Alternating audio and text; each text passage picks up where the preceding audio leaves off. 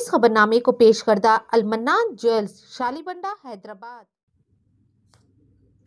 असलम मोज़ नाजरीन। M K T V news channel में आप सभी का खैर मकदम है। मैं लरदेव पल्ली पी एस लिमिट में। शास्त्रीपुरम में बर्थडे पार्टी के नाम पर कोरोना प्रोटोकॉल्स की धज्जियाँ उड़ाई जा रही हैं।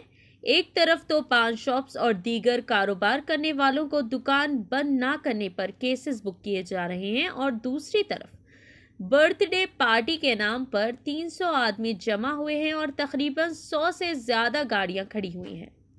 और पुलिस ऐसे जगहों पर एक्शन क्यों नहीं ले रही है? इसकी वजूहत क्या हो सकती हैं?